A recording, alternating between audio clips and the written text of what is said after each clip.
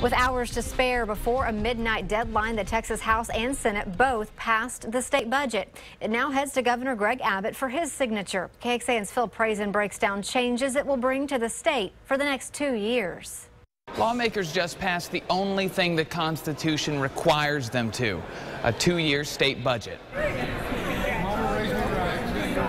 With hugs from her Senate colleagues, Senator Jane Nelson molded a $217 billion state budget.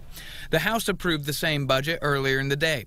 In tough economic times, the budget uses almost a billion dollars from the rainy day fund and delays nearly two more billion in road money until the next budget. But because of that, it pays for nearly 600 new caseworkers for the struggling Child Protective Services Agency.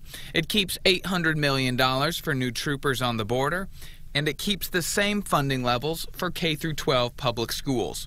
Democrats tell me they would have liked to see more money in public education. I think we have kicked the can down the road on, on school finance. Uh, the fact that um, the courts barely found our system to be constitutional. But this doesn't mean the legislative session is over. There are still major deals still in the works on school finance, a property tax cap, and what's become known as the bathroom bill. At the Capitol, Phil Prazan, KXAN News. However, tensions will remain high tomorrow. Lieutenant Governor Dan Patrick is still threatening a special session if the House does not pass the bathroom bill and a property tax cap on cities and counties. Only the governor can call a special session, but Patrick said he will let the Texas Medical Board dissolve if his demands are not met. Lawmakers have some incentive to get everything done during the regular session since special sessions can cost the state more than a million dollars whenever the legislature is in session, lawmakers get $190 a day to cover their living expenses in Austin. When you add up all 181 representatives and senators in Austin, that's nearly $35,000 a day. And since special sessions can last up to 30 days, that can cost taxpayers $1,031,700.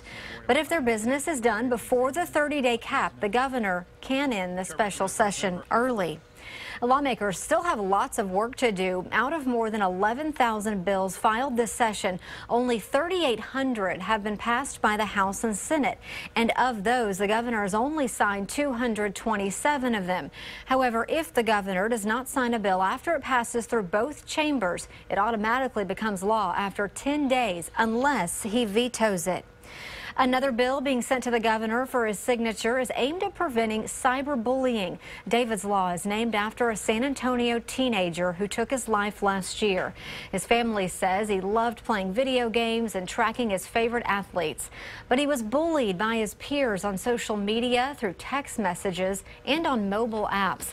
Lawmakers say David's Law gives schools, parents, and law enforcement more tools to tackle cyberbullying.